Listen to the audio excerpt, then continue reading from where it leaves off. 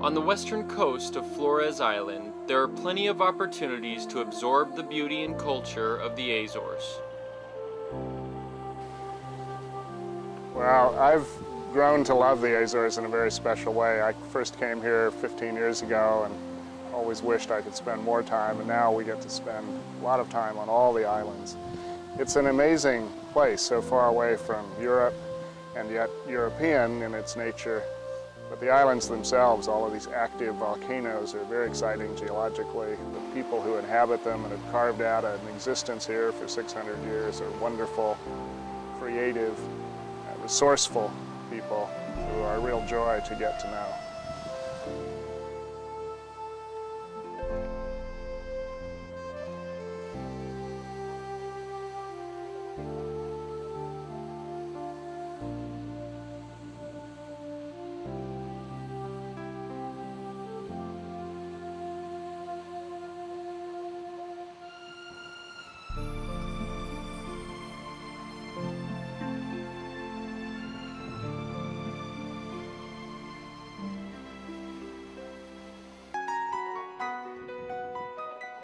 Discovered at the same time as Flores, the village of Vila Nova de Corvo has a unique layout. One notices a similarity in homes, the unique alleyways or canadas, and the absence of locks on the doors.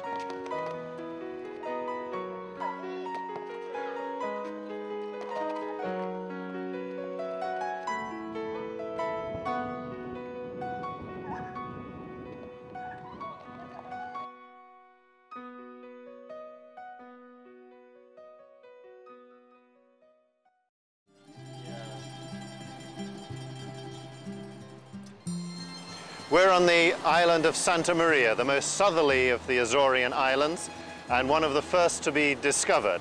Henry the Navigator, the first half of the 15th century, sent out, he paid for expeditions, sent out explorers to go where no Portuguese sailor had ever gone before. And in 1432, Cabral, the man who was later discovered Brazil, found this island of Santa Maria on the 15th of August, date of the Assumption of the Virgin Mary. That's why it's named that. By the end of his reign, in 1457, they had discovered Corvo and Flores, where we started this trip. So in his lifetime, the whole of these Azores were charted and settled by the Portuguese.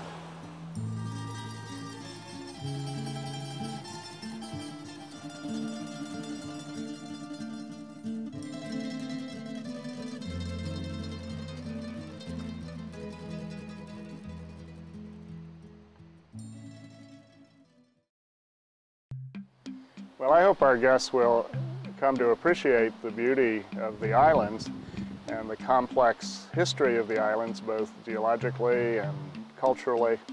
Uh, it's just in a remarkable place. It's a very different part of the world, sitting out here in the middle of the Atlantic Ocean, not well known to people, although almost everyone at home knows someone who is Portuguese. Almost certainly those people are Azoreans, people that have come from here and scattered all over the world and inhabited many other countries and contributed tremendously, but still have a very strong tie to the Azores.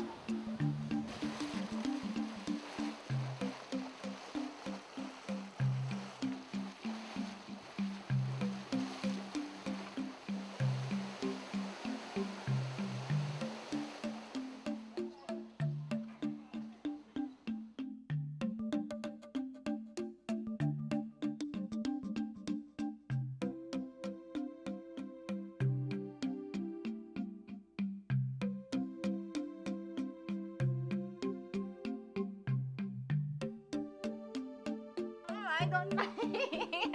Come on, You Brian.